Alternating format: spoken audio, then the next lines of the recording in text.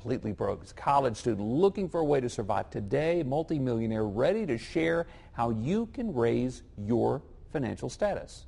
Got a new book out called How Rich People Think. Steve joins us now to talk more about the book and things that he's discovered over the years. Good morning. Hey, good morning, Brad. I'm all, I'm all ears.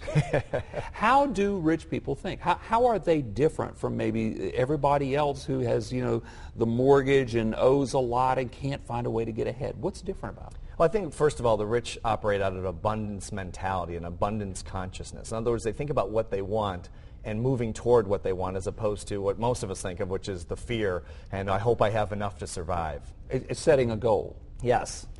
It's, that still doesn't explain it, though. How, how, what, is it, is it truly just changing the way you look at not only money but life? Is that, is that a? I think it's a start. I don't yeah. think it's going to make you rich. By thinking rich, I don't think it's going to make you rich. I don't, I don't claim that. I mean, you have to take action, obviously. But I think it's the beginning because if I don't believe it's possible, and I don't think most people believe it's possible, and it is very, very possible, especially mm-hmm. in America. Yeah. If I don't believe it's possible, I won't pursue it. And mm-hmm. most people don't because they don't believe it's possible. They've been told this is just an, an incredibly hard thing to do, and it's not a lot of you interviewed so many different people, you know, millionaires and, and people who have a lot of money. They say money can't buy happiness. Are these people generally happy with what they've got in life? Are they kind of content, or what, how did you find them?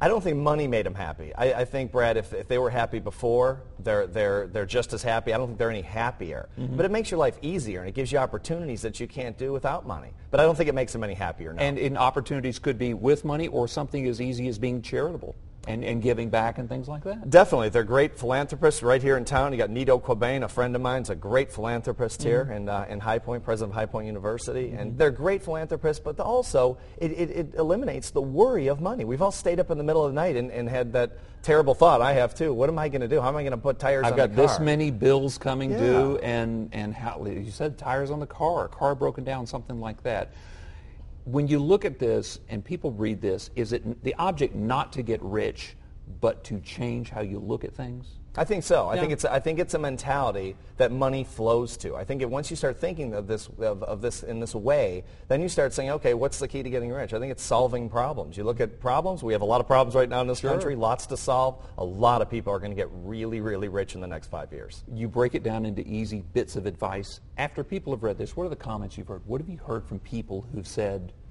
you know, this may have changed the way I look at things? Well, I think some people, you either sort of believe this is possible for you or you don't. And I think most people believe it's possible for people like Nido Qubein, for mm-hmm. example, or yeah. Donald Trump or someone like that, but they don't think it's possible for themselves. And that's what I, I, wrote this book for, for people who are sort of on the fence, who read it and say, hey, I can do this. This is something I can do. Well, I hope a lot of people do read it. Make a change. Thank hey, you so much for coming in. I tell you what, it, the book is actually broken down into very short chapters, bits of advice, and you know, you might find something there that changes your life too. Once again, the name of the book is How Rich People Think. You can pick it up at major retailers and check it